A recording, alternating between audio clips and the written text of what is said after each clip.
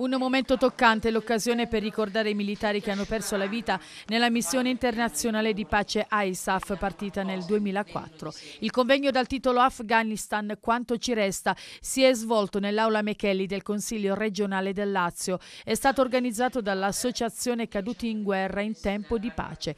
C'erano i familiari di alcune delle vittime accomunati tra loro dallo stesso dolore e quel dolore che neppure il tempo riesce a lenire, una ferita che resta aperta perché non si rimarrà arginerà mai. All'incontro, oltre ai giornalisti e ai rappresentanti delle forze armate, c'erano anche Dora Pinelli e Nunzio Di Lisio, i genitori del caporal maggiore Alessandro Di Lisio, 25 anni di Campobasso. Anche lui è una delle tante vittime della guerra in Afghanistan. Il giovane paracadutista dell'ottavo genio dei guastatori della Folgore è morto il 14 luglio del 2009 nell'attentato rivendicato dai talebani messo a segno a 50 km da Farah.